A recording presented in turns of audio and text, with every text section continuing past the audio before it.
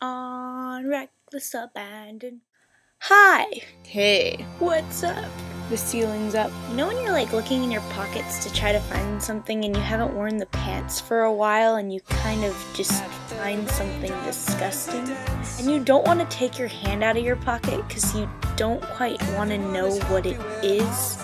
Ew. Maybe it's just me. Check under your seats. You're all going home with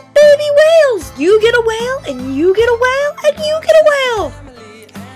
So my dog has been getting into my sister's bedroom and my bedroom and all of our bedrooms and eating our food that we have in our rooms, which we shouldn't be keeping food in our rooms anyway because we get bugs. But my sister had an entire tub of licorice. It was a big tub.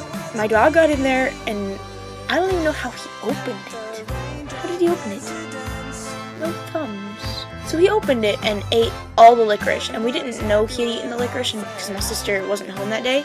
He just started urping everywhere. Urpie means vomit. It was icky. He was like exorcist dog or something. It's like, ugh. yeah. I also went skydiving indoors. I rock it hardcore. That's about it. Bye.